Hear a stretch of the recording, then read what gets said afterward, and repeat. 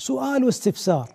لماذا بعض الخادمات العاملات المنزليات يأتين إلى بلادنا فتسكن عند أسرة سنتين وثلاث وتعود ولم تهتدي إلى الإسلام؟ ثم تعود مرة أخرى عند أسرة أخرى فتسلم.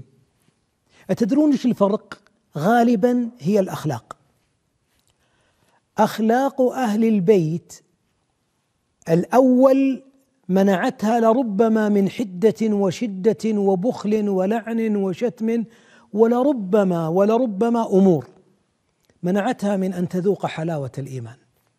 أو أن ترى الإسلام واقعا عمليا يدير البيت ويعيش أهل البيت في أخلاق وسكينة. وفي البيت الثاني وجدت صاحبة المنزل بشوشة لطيفة رحيمة همها الاسمى ليس غسيل الملابس ولا غسيل القدور. همها الاسمى أن تنقذ هذه الخادمة الغير مسلمة أن تنقذها من النار إلى الجنة.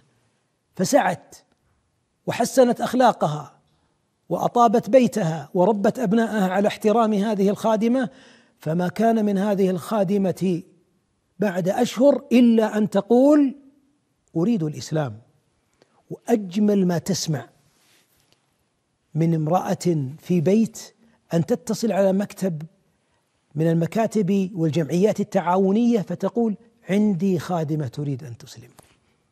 فأقول أخلاقنا سبب لدخول غيرنا للإسلام. فلا تفسدوا الأخلاق فتصدوا عن دين الله من حيث لا تشعرون. اللهم اجعلنا هداة مهتدين. قولوا آمين.